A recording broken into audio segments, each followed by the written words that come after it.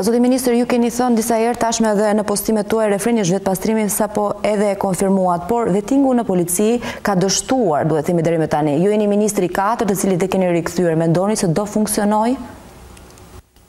Nuk dua e para nuk kam, kemi kohën e mjaftushme për, për të bërë një retrospektivë, dua t'ju garantoj që 300 funksionet e larta në policinë e shtetit, pastaj ato funksione në Agjencinë e Mbikëqyrjes Policore dhe në Gardën e Republikës, duhet dhe do të vetohen në mënyrë strikte.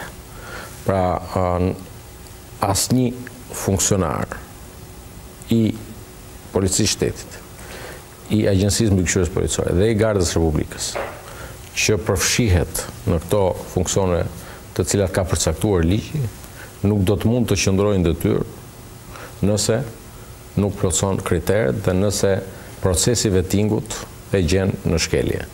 Pra, dua t'ju garantoj që ashtu siç thoni ju dështimi në të kaluarën do të ripërsëritet, kjo nuk do ndodhë sepse është një Dimension i rëndësishëm i procesit të vetëpastrimit në Policinë e Shtetit, në Gardë dhe në Agjencinë e Mbikëqyrjes Policore. Në një shinë paralele është dhe vetëdeklarimi i të gjithë efektivëve të policisë nëse kanë përdorur platformat Sky ECC ose Encrochat.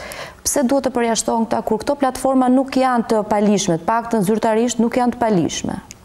Jo, i keni keqkuptuar dhe ajo që unë dua t'ju them është që këto platforma nuk janë si platformat që ju njihni. Pra, ju besoj keni një llogari në WhatsApp, keni llogari në në aplikacione të tjera, të cilat janë pa pagesë.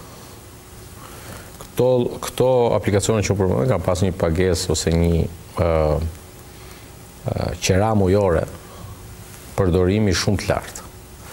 Dhe Deri më tani rezulton që pjesa më e madhe e atyre që kanë pasur akses në to kanë qenë persona me veprimtari kriminale. Dhe ky standard që ne vendosëm në policinë e shtetit, e përsëris edhe në agjencinë e mbikëqyrjes policore, edhe në Gardën e Republikës, Ka të bëjë me një standard që e nisi Shqipëria dhe mund të ndaj me ju lajmin që edhe vende të tjera, ëh, të cilat kanë pasur këtë problematikë, po e vlerësojnë për ta aplikuar, sepse është një ndarje dhe është një pjesë ose një standard që në fakt mendoj që e kemi mësuar edhe nga procesi i dekriminalizimit të politikës. Pra, edhe formulari i dekriminalizimit dikur u duk si një një pjesë edhe ju mediat filluat ta kritikonit, por e vërteta rezultoi që edhe ky është një lloj dekriminalizimi i policisë. Pra, ju personat janë ftuar që deri në 5 janar ta deklarojnë kanë pasur ose jo. Dhe pastaj ata që do të rezultojnë që kanë pasur dhe kanë gënjyer natyrshëm do të kenë reperkusionet ligjore.